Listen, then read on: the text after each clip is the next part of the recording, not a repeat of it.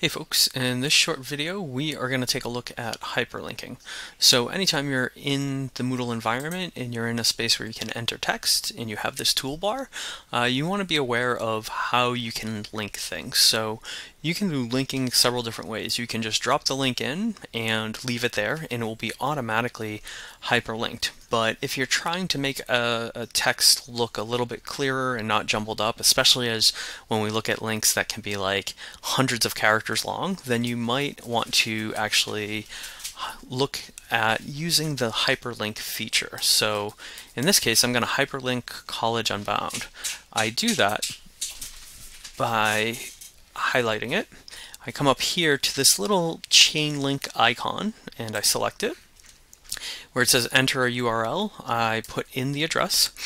Typically, I'm going to encourage folks to have it open in a new window because that way you'll still the the person clicking the link will still have the stay in the Moodle environment and then it will open in a new tab and so they can look at whatever it is close that tab and come back to Moodle so I select hyperlink now notice the difference here is this has changed color and also when I hover my mouse over it, it underlines. So keep that in mind. We'll post this.